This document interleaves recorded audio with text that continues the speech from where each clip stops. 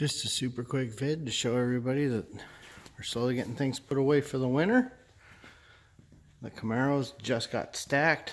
It's really cold outside, so I gotta wait until that top warms up to finish putting it up because uh, it's a little chilly out. But you can see they stack real nice.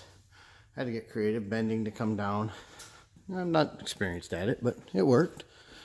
And made sure if I ever want to move it, that I can just undo the cabling there and then uh, free a bolt and then let that line hang while we move to the lift.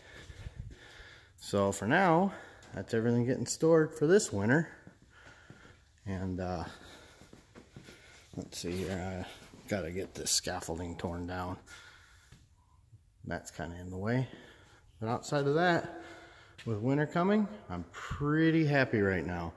Getting ready to set this up to paint some doors because we're not done doing that. Right, there's one of the casements. So there, winter is here.